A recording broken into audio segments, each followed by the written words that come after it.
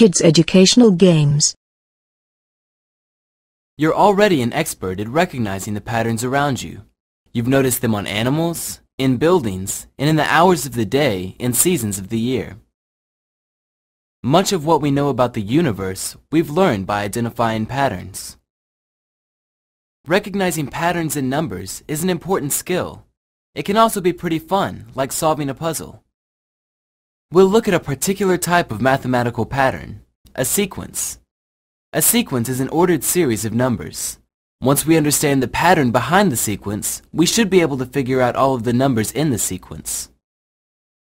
There are many different types of sequences, but we will look at two of the basic kinds, sequences based on addition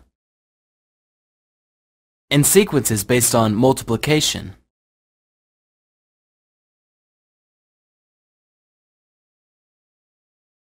Not only are patterns all around us in the real world, they are also on our tests. Let's look at a question you may see on a standardized exam. That looks tough. Before we get too far along, let's look at an important real-world example. Sunspots are areas on the sun that have temporarily become colder than the surrounding areas. They usually cause intense electromagnetic activity, which can be strong enough to disturb radio and cell phone communications 93 million miles away. The table above shows years in which sunspot activity was much higher than usual. Based on this information, we must find when the next year of high sunspot activity will be. People are naturally skilled at finding visual patterns. Let's look at a bar chart of the years in the sequence. Can you tell what the next bar in the sequence should be? B. It's easy to see this pattern. There's a steady slope going upwards from one bar to the next. Pattern hunters depict numbers visually to help their search all the time. But how do we find the mathematical pattern?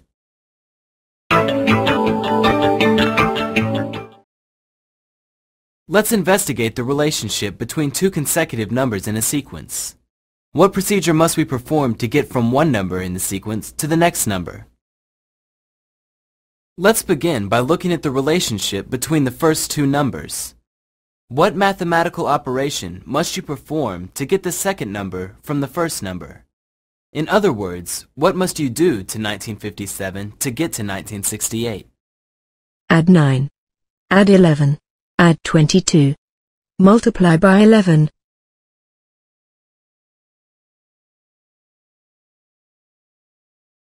Add 11. That's it. A sequence progresses in a regular way.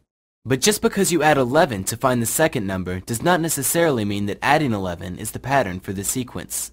So let's continue. What must you do to the second number to find the third? Subtract 11. Add 9. Add 11. Add 22.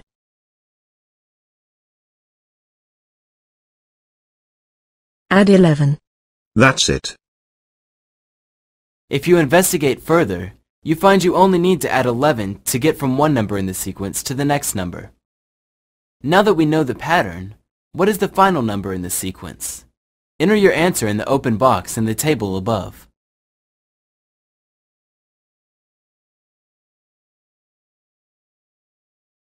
Two thousand and twelve. That's it. Easy enough, right? Well, not all number sequences are so straightforward.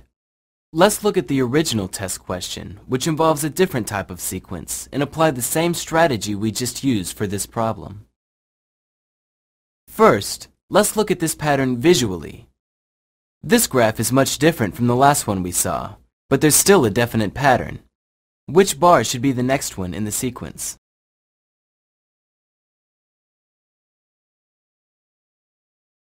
A. That looks about right. Here, the visual pattern is slightly harder to recognize. But it's clear the curve connecting the tops of the bars gets steeper as it goes from left to right, like the edge of a teacup. Now let's look for the mathematical pattern. What operation must you perform on the first number to find the second? Add 9. Multiply by 4. Add 4. Both A and B.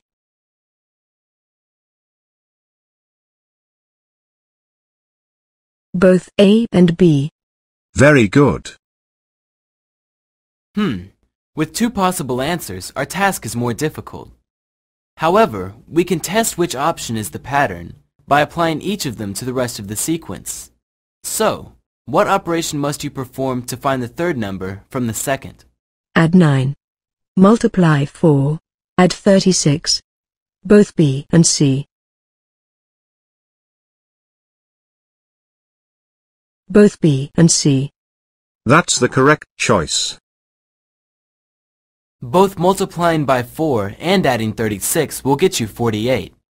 However, we're looking for a pattern, which means we want to find something similar in the relationships between consecutive numbers. After evaluating the rest of the sequence, what must you do to each number to find the next number? Add 9. Multiply by 4. Add 36. Both A and B.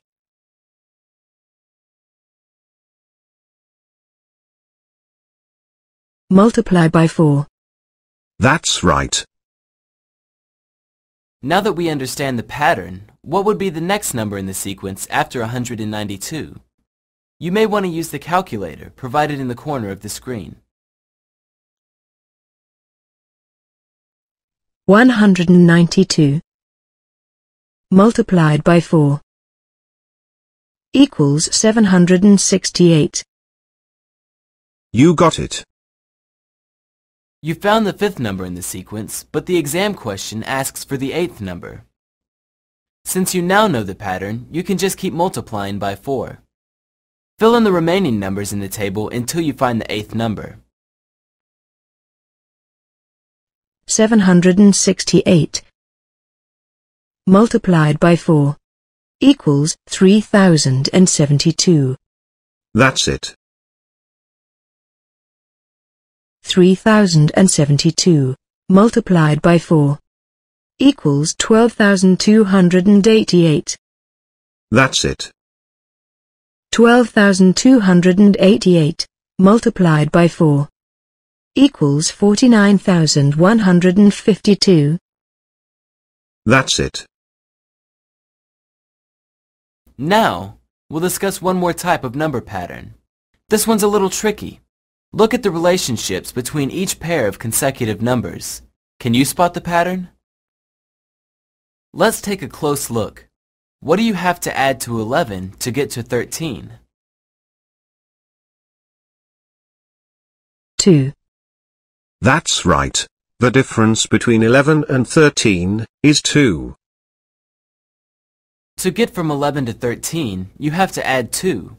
What do you have to add to 13 to get to 16?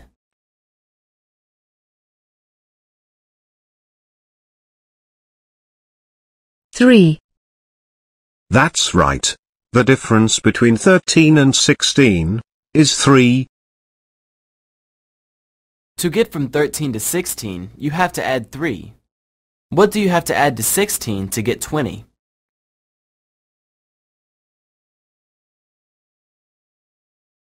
Four. That's right. The difference between 16 and 20 is 4. If you didn't see the pattern before, you may see it now. What is the next number in the sequence after 25? Enter your answer in the empty box above.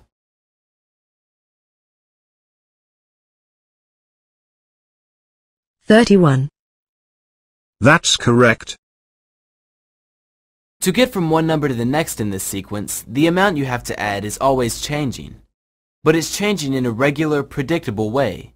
There's a pattern inside the pattern.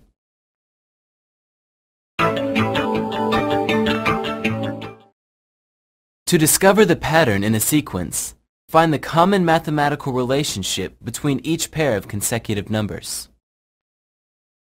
If there is no common mathematical relationship between all pairs of consecutive numbers, look for a pattern in the sequence of differences between those pairs. If you're having trouble recognizing the pattern, try representing the numbers in the sequence visually.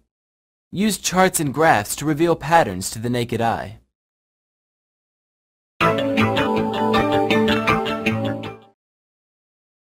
Grab a pencil and paper. We'll practice dealing with number sequences and patterns in 10 exercises. After each question, the answer will be explained. Are you ready? Number 1. What is the next number in the sequence?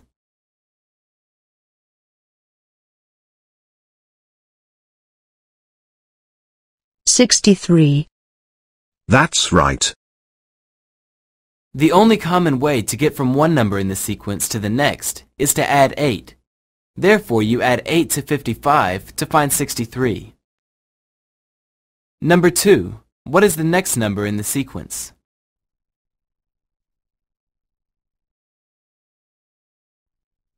Thirty-six divided by twelve. Equals three.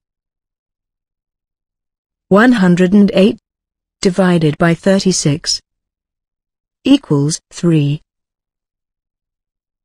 One hundred and eight multiplied by three equals 324. That's it. The only common way to get from one number in the sequence to the next is to multiply by 3. So the next number in the sequence is 324. Number 3. What is the next number in the sequence?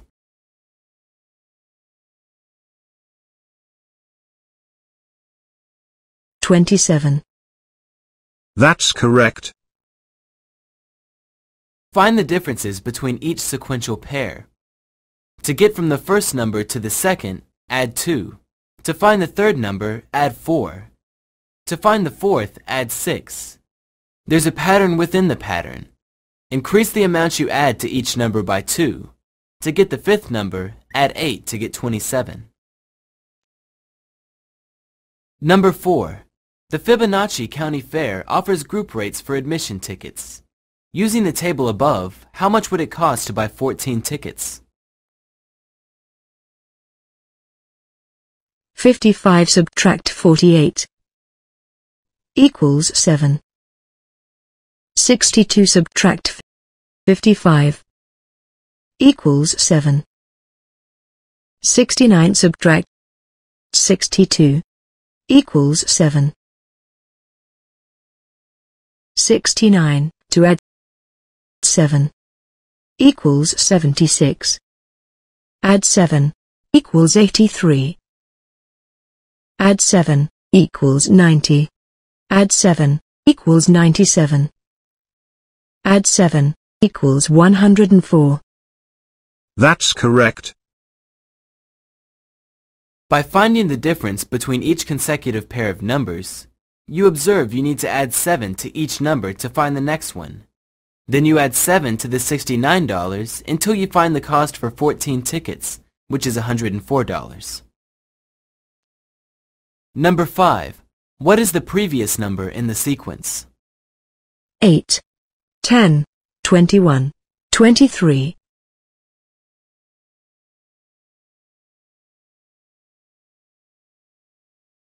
Eight. That's correct. We haven't looked at a question exactly like this yet.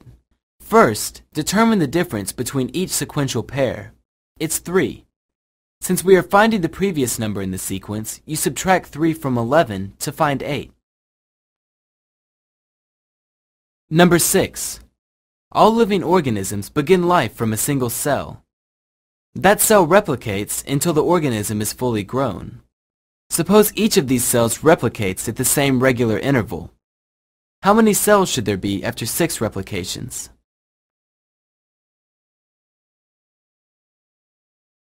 Twenty-four cells. Thirty-two cells. Sixty-four cells.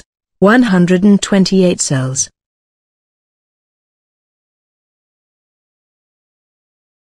Sixty-four cells. That's correct. Notice that the common way to get from one number in the sequence to the next is to multiply by 2. Then you simply keep multiplying by 2 until you find the number at the sixth replication, 64.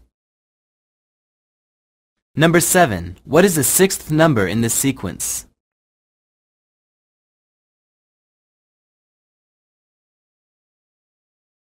Three thousand seven hundred. That's right. First, notice how you add 50 to the first number to get the second, add 100 to get the third, and add 200 to get the fourth. There's a pattern within the pattern. The amount you add to each number doubles.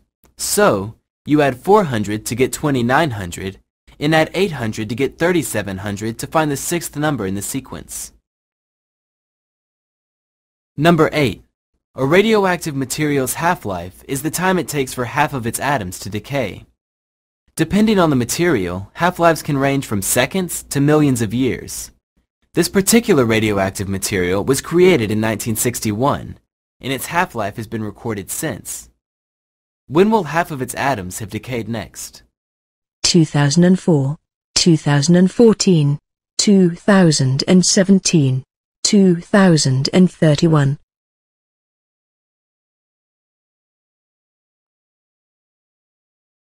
Two thousand and seventeen. That's correct. First, notice that the half-life for this material is 14 years. So you simply add 14 to 2003 to find the date of the next half-life, 2017. Number 9. What is the third number in the sequence?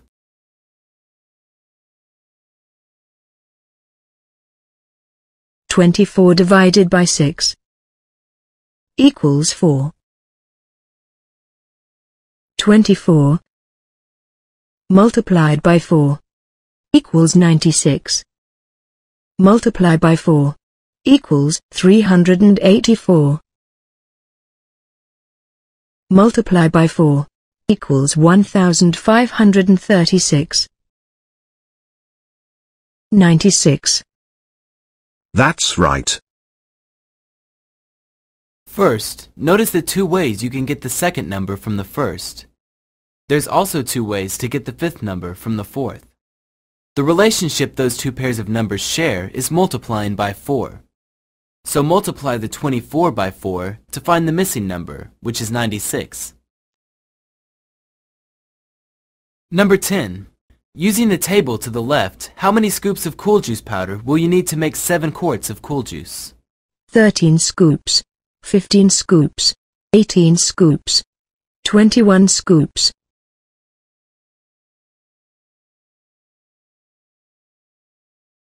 Twenty-one scoops.